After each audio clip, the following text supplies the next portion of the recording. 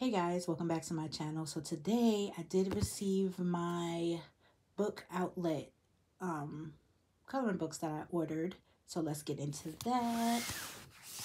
So the first one that I did pick up is Gnomes at Home. It is a Zen Doodle Colorscapes book. And let's see, it looks like that. Look at the nice metallic little pieces on the cover. This is adorable. Let's look at the back. This is what the back look like. Um, book Outlet is a online bookstore. I think we have all heard about it, but let me just tell you, it's an online bookstore. You get everything for the low. I think this was like $5. And originally, it is a $15.99 book. I think it's a little older. Um, just keep in mind, you don't know what you're going to get. I have gotten some books that were a little destroyed or a little scuffed. I got a dirty book today. Uh, anyway, I'm probably not going to be ordering from there again, but this is what I got. So here's a quick flip of this one. So cute. I usually don't like gnomes that have eyeballs. I like when they like this. Like I like when they just have the hat and the nose because then I don't have to color too much skin. But this was too cute to pass up. And so that's the first book I got. And I'm really happy with this one. Next one I got was Tiny Worlds. I've been looking at this book for a while and honestly I only picked it up because it was on sale because the details are so small. So here's what this looks like. That's cute. I don't know if you guys can see it's it's like it says it's Tiny Worlds. And that's what that looks like. Very cute book as well. And then next, I got another gnome book. I am in love with gnomes, guys, at the moment. So I picked up all the gnome books, and it has that shiny.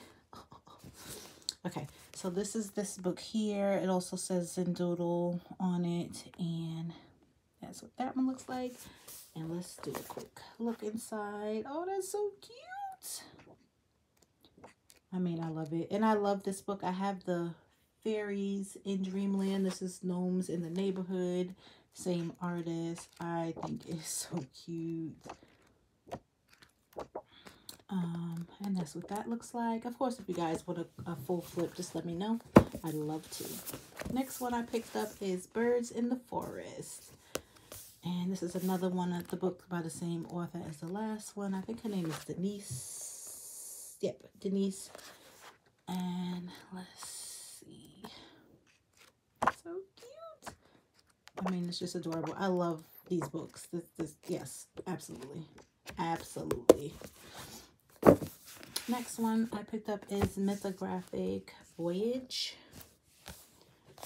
And this one has really cute pictures in it as well. Very detailed, you know. Take me like five months to finish a page, but super cute still. None, nevertheless, it's still cute.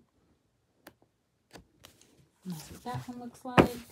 Next one is Mythographic Magical Earth. And let's see. This one has more animals. Very cute.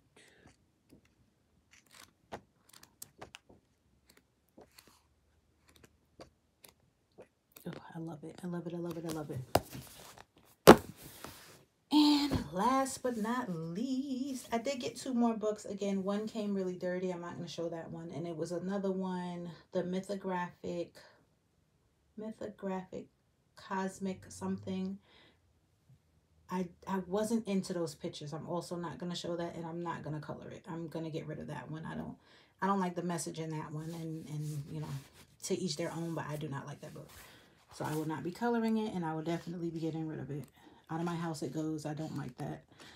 So this is this cute book. It is called uh, Joyous Blooms to Color. And when you order, oh, cute, cute, cute. When you order from books, um, book outlet, they don't show you the inside of books. So, you know, Amazon is your friend if you want to see some reviews on a book before you order it from them. And I did end up going on YouTube to see like full flips and I thought this was nice too. It's not like one of my favorite books that I ever picked up, but it's also nice. So that was my birthday coloring book haul so far.